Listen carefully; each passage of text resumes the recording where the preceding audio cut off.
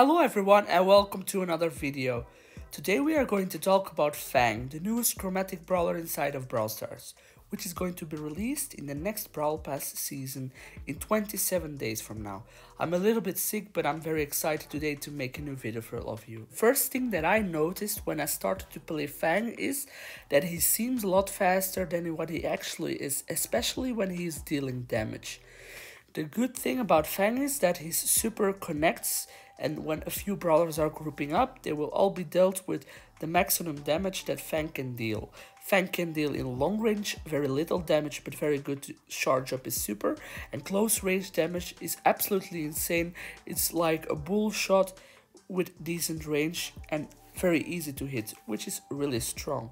Fang is going to be very balanced but I also think some kind of overpowered in a way, and especially in Solo Showdown. What I noticed the most when I played Fang for the first time is that his shots do not go through each other, just like they do with Edgar. When you open boxes in Solo Showdown with Edgar, you can open multiple boxes at once, while with Fang you can only hit one target at a time. Even when they stand really close to each other or when boxers are grouping up to each other, you can only hit them one at a time with your shot, which is something you really need to keep in mind. It's something that seems very easy to understand, but it's something that you have to get used to, especially with Fang being such an aggressive brawler to play with. Especially Super is so aggressive, like it's really, really strong. And Fang's star power is really strong as well. But I also think that with the new update with level 11 and all these gears, Fang is going to be way harder to max out at first. So his star power is going to be less in game, which is very good actually because I think it's going to be extremely strong. When you finish off a brawler with your super and you kill them, you get instantly your super back recharged, which means that if you know how to play Fang and you play him well and consistently and you learn him, you will keep your super consistently throughout the whole game, which is really strong. It's also important that you do not confuse yourself with Fang and Edgar because it's really important that you are careful when you are around boxes. Brawlers can easily hide behind them because you only hit one box at a time when you are fighting with Fang. His super is really strong, very good to escape as well, but you need to be careful and not confuse yourself in these situations. Everyone, I suppose, will die at the first time you play Fang and you test this out because it's really confusing. You think that you're going to hit them through the boxes, but that's actually not true. Then I want to quickly talk about Fang's gadget, Cornfu. He tussles around a few kennels and he makes it rain popcorn, dealing 500 damage each.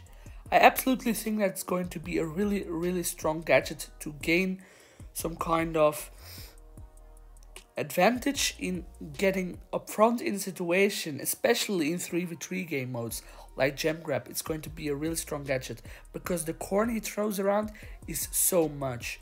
And I also think that Fang is going to be the most popular brawler so far in the Brawl Pass because Edgar is one of the fan favorite brawlers inside of Brawl Stars right now, and I think Fang is going to be very similar. He's so fun to play, and Furious Fang is such an amazing skin at the end of Brawl Pass.